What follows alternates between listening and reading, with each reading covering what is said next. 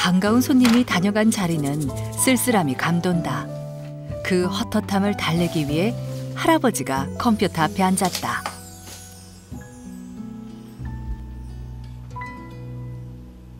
할아버지 보물 1호가 바로 요 녀석.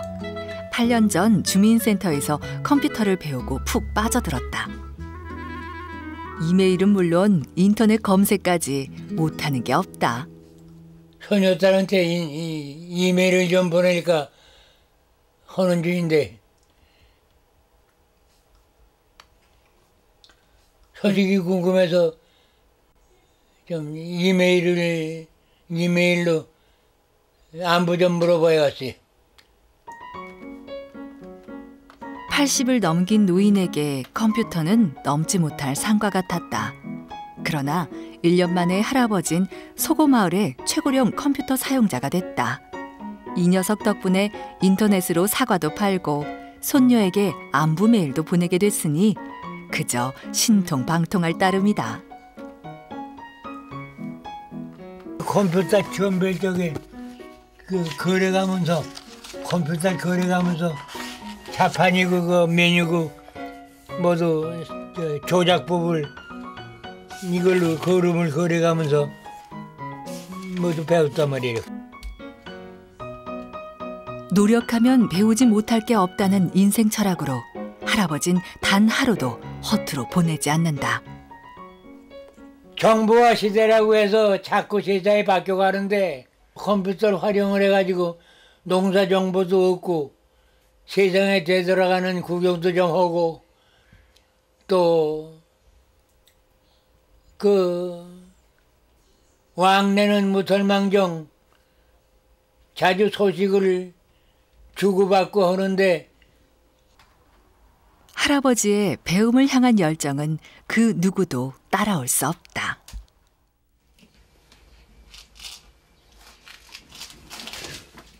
다음 날 한낮 더위가 지나고 할아버지가 일터로 나간다.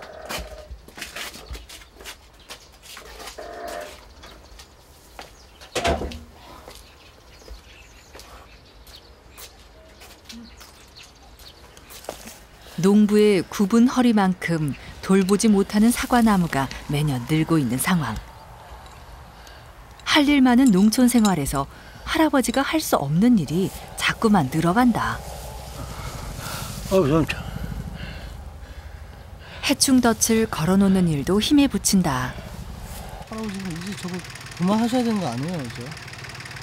아, 그만해야 할 텐데 그 애착심을 버리지 못해서 저러는 거지.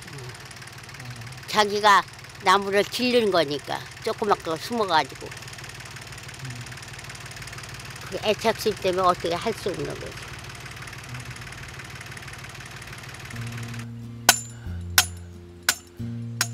농사꾼의 애착심이야 말해 무엇할까. 아내의 만류에도 아들의 염려에도 할아버지가 사과밭을 포기할 수 없는 남다른 사연이 있다. 시작할 때도 그 생각이 많이 났고 늘 과손하면서도 생각이 많이 났고 예, 아버지 생각 많이 나요. 그래서 이 사과밭을 선택한 동기도 아버지 생각이 아마 반 이상 차지했기 때문에 늘 생각이 떠나지 않고 그래서 그래서 이걸로 선정이 됐는지 모르지 업종이 업종으로. 가난했던 시절 사과 농사로 칠남매를 키워낸 아버지. 비록 많이 배우지 못했어도 평생을 부지런함으로 살아온 아버지의 인생과 할아버지의 삶은 닮아 있다.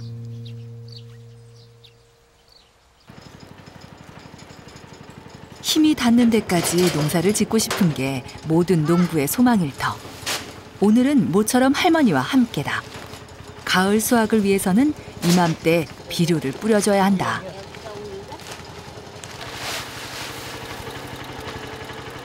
부족한 노동력으로 사과밭을 이만큼 일굴 수 있었던 데는 할머니 힘이 컸다.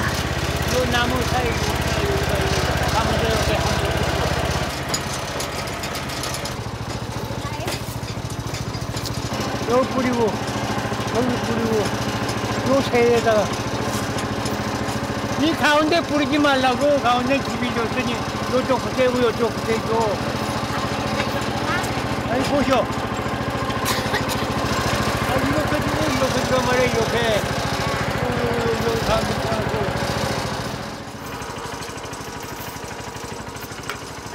아, 자꾸 아이 그, 그 그렇게 어려워? 왜 나무 있는데 자꾸 줘?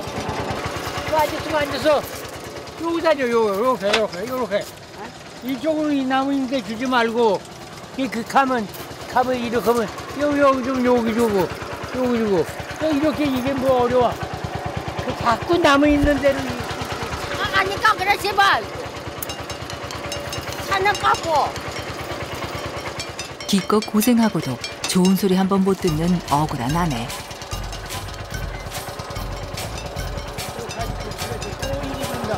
아 왜 자꾸 이리 와? 아 이게 그게 그렇게 개념이 안 돼요? 어우, 이 아저씨야. 여기다 주려네, 이렇게. 어! 배워야지, 뭐, 키가 안 들어? 아무래도 할아버지 잔소리가 좀 과했지 싶다. 결국 할머니가 트랙터에서 내리고 만다. 이거 하나 갖다 걸어. 가요.